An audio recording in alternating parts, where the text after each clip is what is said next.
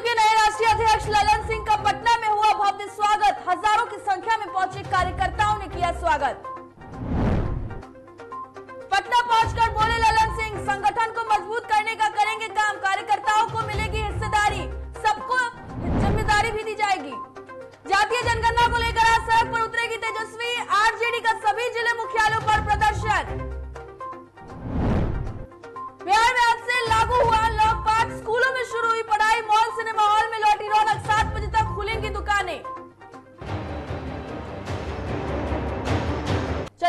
अगली खबर की ओर, जेडीयू के नवनिर्वाचित राष्ट्रीय अध्यक्ष ललन सिंह पटना पहुँचे, जहाँ हज़ारों की संख्या में कार्यकर्ताओं ने उनका भव्य स्वागत किया। इस दौरान ललन सिंह ने कहा है कि वो संगठन को मज़बूत करेंगे, कार्यकर्ताओं की हिस्सेदारी मिलेगी और इस मौके पर पटना एयरपोर्ट से ललन सिंह का काफिला शुरू हुआ तो लगभग तीन घंटे का सफ़र तय कर जेडीयू कार्यालय पहुँचा। इस दौरान एयरपोर्ट से लेकर जेडीयू कार्यालय तक कार्यकर्ताओं का हुजूम देखने को मिला। वहीं जगह जगह पर लल्लन सिंह का भव्य स्वागत किया गया। जेडीयू कार्यकर्ता कार्यालय पहुँचने के बाद, उसके बाद सभी ने उनका स्वागत किया। साथ ही साथ कार्यालय पहुँचने के बाद लल्लन सिंह ने कार्यकर्ताओं को भरोसा दिलाया कि सबको उचित ज़िम्मेदारी और हिस्सेदारी मिलेगी। पार्टी के कार्यकर्ताओं में उत्साह है और अध्यक्ष का काम है संगठन को मज़बूत करने के लिए कार्यकर्ताओं को उत्साहित करना, कार्यकर्ताओं में उत्साह भरना और माननीय मुख्यमंत्री नीतीश कुमार जी के काम को हर घर तक पहुंचाना। माननीय प्रदेश के अध्यक्ष भाई उमेश कुशवाहा जी, यहाँ उपस्थित राज्य पदाधिकारीगण, विधायकगण, मंत्रीगण और आप सभी साथियों, सबसे पहले तो आज राष्ट्रीय अध्यक्ष के निर्वाचन के बाद पटना आने पर जो आप सभी कार्यकर्ताओं ने पूरे उत्साह के साथ जो स्वागत किया है, इसके लिए हम आपका अभिनंदन करते हैं और धन्यवाद करते हैं। और आपका और आपका, आप सभी साथियों का उत्साह देखकर मुझे पूरा भरोसा और विश्वास है कि मुख्यमंत्री आदरणीय नीतीश कुमार जी ने जो संगठन को मज़बूत करने की जिम्मेवारी मुझको दी है, वो शत प्रतिशत पूरा होगा ये मुझको भरोसा है। अध्यक्ष अध्यक्ष संगठन नहीं चलाता है। संगठन को मज़बूत करते हैं आप सभी कार्यकर्ता साथी। अध्यक्ष का काम है, सिर्फ़ अध्यक्ष का काम है, कार्यकर्ताओं के मान सम्मान की रक्षा करना। और यह हम आपको पूरा भरोसा दिलाते हैं कि एक एक कार्यकर्ता के मान और सम्मान की रक्षा की जाएगी, यह हम आपको भरोसा दिलाते हैं। सबको उचित सम्मान मिलेगा, सबको उचित हिस्सेदारी मिलेगी। लेकिन हम सबों का ये दायित्व है, हम सबों का ये फ़र्ज़ है, कर्तव्य है कि माननीय मुख्यमंत्री नीतीश कुमार जी ने कि जो जो पंद्रह साल में काम किया है, उस काम को एक एक घर तक पहुँचाने का काम करें।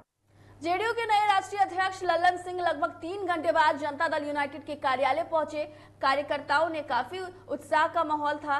स्वागत के लिए तमाम कार्यकर्ता और नेता पहुँचे थे और इस मौके पर कार्यकर्ताओं ने कहा कि लल्लन सिंह को ज़िम्मेदारी दी गई है, वो निभाएँगे।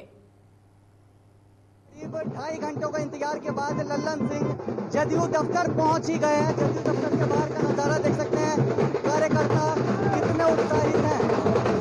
लल्लन जी को राष्ट्रीय अध्यक्ष बनाया गया है। किस तरीके हम लोग बहुत खुश हैं पूरा कार्यकर्ता खुश है और ललन बाबू के नेतृत्व में जनता दल यूनाइटेड इतिहास की सबसे बड़ी पार्टी होगी सबसे मज़बूत पार्टी होगी अभी तक जो आज तक जितना मज़बूत जनता दल यू नहीं हुई है ललन बाबू के बनने से उतना मजबूती पार्टी को मिलेगा। उपेंद्र कुशवाहा जी का भी उपेंद्र कुशवाहा जी का भी नाम सामने आ रहा था लेकिन ललन जी को ज़िम्मेदारी आप पार्टी में तो बहुत सारे लोग दावेदार रहते हैं लेकिन जिस प्रकार माननीय ललन सिंह को पार्टी ने राष्ट्रीय अध्यक्ष बनाया है वो कैपेबल आदमी है समता पार्टी के समय से पार्टी में है कार्यकर्ताओं को लेकर के चलते हैं उनके नेतृत्व में निश्चित ही जनता दल यूनाइटेड पूरे देश में एक नई मुकाम तक पहुंचेगी। बख- बखूबी निभाएँगे अपनी ज़िम्मेदारी को।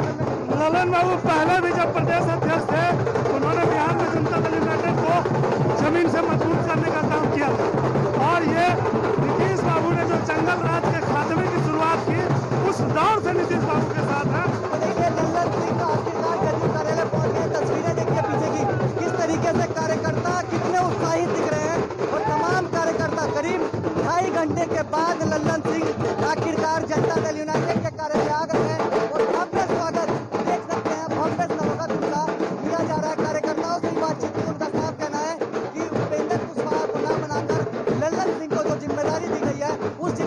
ज़िम्मेदारी सिंह खड़े उतरेंगे। क्या सहयोगी उत्कर्ष के साथ निषेध ठाकुर डीटीवी भारत पटना। फ़िलहाल वक्त तो चला एक छोटी सी ब्रेक का जल्द लौटेंगे।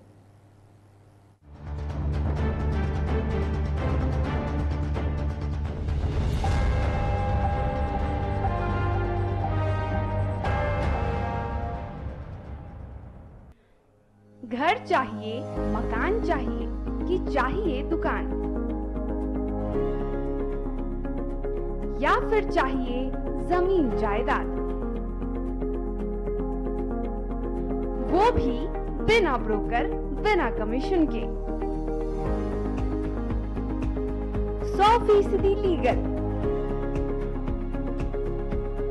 अधिक जानकारी के लिए देखिए हमारा खास कार्यक्रम, बिल्डिंग बाज़ार।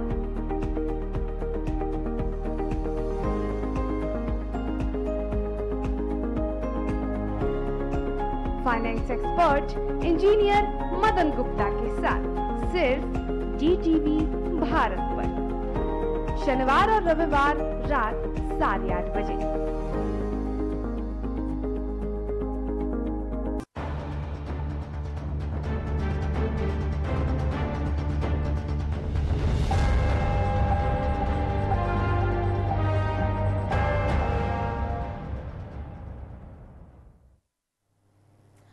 बाद स्वागत है। बढ़ते हैं खबरों की ओर। सीएम नीतीश कुमार के नेतृत्व में कैबिनेट की अहम बैठक हुई, जिसमें 19 एजेंडों पर मोहर लगी है।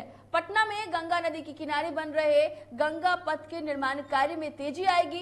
कैबिनेट बैठक में सरकार ने आरा सदर अस्पताल के डॉक्टर कुसुम सिन्हा को जबरन वीआरएस दिया है। इसके अलावा तत्कालीन Madhubani civil surgeon doctor Uday Shankar Prasad को सेवा से बर्खास्त कर दिया गया है। बर्खास्तगी पर कैबिनेट ने मोहर लगा दी है। वे 19 दिसंबर 2005 से अपनी ड्यूटी से अनुपस्थित थे।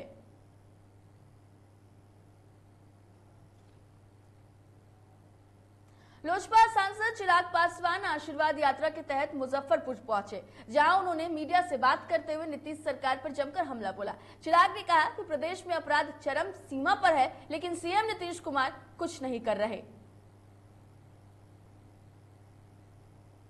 प्रतिशत का मत 12 से 14 प्रतिशत का होता। और आज 15 प्रतिशत वाले बिहार में मुख्यमंत्री बने हुए हैं। इसीलिए जिस तरीके से इस यात्रा में हम लोग को समर्थन मिल रहा है, एक बात मैं पूरे दावे के साथ कह सकता हूँ कि आगामी मध्यवर्ती चुनाव में, मैं इस बात पे मैं थोड़ा सा ज़ोर डालकर बोलूँगा, आगामी मध्यवर्ती चुनाव में, क्योंकि मैं मान के चल रहा हूँ कि लोकसभा से पहले बिहार में मध्यवर्ती चुनाव होंगे, जिस तरीके से मौजूदा सरकार के सहयोगियों के ही बीच में एक टकरार देखने को मिल रही है और जिस तरीके से बिहार वासी पूरी तरीके से आक्रोश मुजफ्फरपुर में चिराग पासवान की आशीर्वाद यात्रा पर लोजपा के पार्टी महासचिव ने फ्लॉप करार दिया है। उन्होंने कहा कि चिराग के साथ उनके दो चार कार्यकर्ता हैं जो उनको घुमा रहे हैं। साथ ही उन्होंने कहा है कि चिराग ने आज तक नहीं बताया कि आशीर्वाद यात्रा आप किसके लिए कर रहे हैं, अपने लिए या जनता के लिए।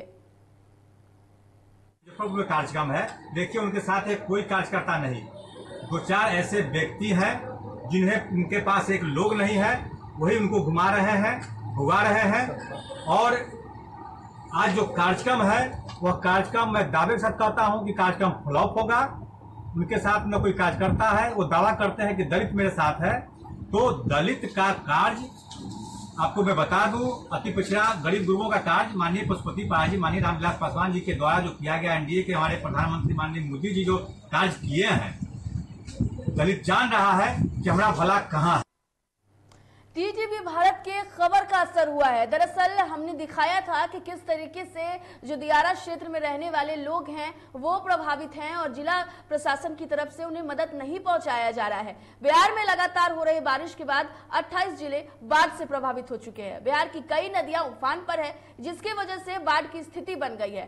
पटना सदर के दीदारगंज थाना के कई पंचायत बाढ़ से प्रभावित है, खासकर सोनामा पंचायत के खासपुर गाँव ज़्यादा प्रभावित है। वैसे स्थिति में राज्य सरकार की तरफ़ से तो कोई राहत सामग्री नहीं पहुँची, लेकिन जब डीटीवी भारत ने यह खबर दिखाई तो जन अधिकार पार्टी के नेता, पूर्वी जिला अध्यक्ष सचिदानंद और जन अधिकार सेवा दल के प्रदेश अध्यक्ष भानु यादव बाढ़ प्रभावित गाँव पहुंचकर लोगों के खाने की व्यवस्था की, खाने की सामग्री का वितरण किया। साथ ही ये कहा है कि हमारे नेता पप्पू यादव का कहना है कि भले वो जेल में हैं तो क्या हुआ? मानवता की सेवा सर्वोपरि है और ये भी कहा कि ये सेवा रुकनी नहीं चाहिए। देखिए, यह मेरा कर्म क्षेत्र है और सेवा मानव का सेवा ही सर्व सर्वप्रथम धर्म है। हमारे माननीय ने, हमारे माननीय नेता राष्ट्रीय अध्यक्ष राजेश रंजन उर्फ़ पप्पू यादव जी ने भी जब यह कुकर्मी सरकार कोरोना में जहाँ लोगों को मदद कर रहे थे और एंबुलेंस उद्भेदन करने का काम किए इस कारण हमारे माननीय नेता को भी जब पटना पुलिस अरेस्ट की और 32 साल पुराने मामले में उन्हें घसीट कर आज भी जेल के सलाखों के अंदर रखी हुई है। उनके, उनका साफ़ निर्देश था, उस समय भी यदि याद कीजिएगा तो वह कहे थे कि यदि ज़रूरत पड़ी तो पटना जिला अध्यक्ष अपना संपत्ति भी बेच के भी लोगों की सेवा करेंगे। आप लोगों का चैनल जो है पूरा प्रमुखता से पूरा जल्ला क्षेत्र में जहाँ जहाँ पानी हो गया है हर हर जगह का मुआयना करके दिखाया है। तो हम लोग को लगा कि नहीं हम लोग को अब निकलना चाहिए क्योंकि हमारा पार्टी का मैनिफेस्टो और हमारे सुप्रीमो का जो मैनिफेस्टो है लोगों का कर्म है सेवा है। ठीक है तो हम लोग जो है पहले तो मुआयना किए इसके बाद आज हम ये आ, कौन सा गाँव है? खासपुर खासपुर में आए आप भी आए हुए हैं। आप देखिए यहाँ ऐसी स्थिति है, भयावह स्थिति हो गया है कि यहाँ के पूरे गाँव के बच्चे एक माठ में गार्जियन जो है रखे हुए अब रुक करते हैं झारखंड की खबरों का। झारखंड के हेमंत सोरेन कैबिनेट ने नौकरी से संबंधित एक बड़ा फैसला लेते हुए परीक्षा संचालन की पाँच नियमावली को सरल करने के साथ तीन नई नियुक्ति नियमावली के गठन के प्रस्ताव पर मोहर लगा दी है। इसके तहत अब राज्य सेवा के अभ्यर्थियों को झारखंड की स्थानीय रीति रिवाज भाषा एवं परिवेश का ज्ञान होना अनिवार्य कर दिया गया है। मैट्रिक स्तरीय परीक्षा संचालन नियमावली में अभ्यर्थियों की न्यूनतम शैक्षणिक आहर्ता में संशोधन किया गया है। अब अभ्यर्थियों के लिए झारखंड में स्थित मान्यता प्राप्त शैक्षणिक संस्थानों से न्यूनतम मैट्रिक या दसवीं कक्षा उत्तीर्ण होना अनिवार्य किया गया है।